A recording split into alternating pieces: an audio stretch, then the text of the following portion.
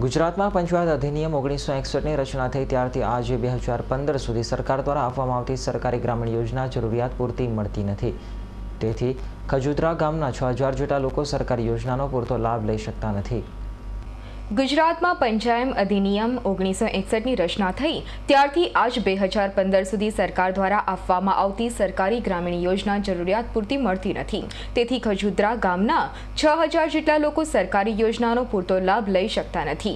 ગામ સાથે વિભિન્ન પ્રાથમિક સુવિધાઓ જેવી કે શાળા, પીવાનું પાણી, રસ્તા, બાલવાડી, આંગણવાડી વગેરે પ્રજાની પાયાની સુવિધાઓ હોય, લોકોમાં તેમાં લોકભાગીદારી નાણાકીય કે આ રીતે મદદરૂપ થવાની ભાવના ધરાવે છે. લોકફાળો કે દાતાઓ આ સુવિધા માટે આગળ આવતા નથી. પંચાયતને લીધે સમુદાયક કાર્યોમાં પહેલ કરવાની શુભ પ્રોત્સાહન મળતું નથી. રાજ્ય સરકાર અને કેન્દ્ર સરકારની ઘણી બધી કલ્યાણકારી યોજનાઓ જેવી કે રસીકરણ, પ્રાથમિક શિક્ષણ, કૃષિ અને સહકાર, પ્રવૃત્તિ, બાળ વિકાસ અને મહિલા કલ્યાણ કુટુંબ નિયોજન વગેરેના અમલીકરણમાં સરકાર તથા પંચાયતનો ફાળો બહુ ઓછો છે.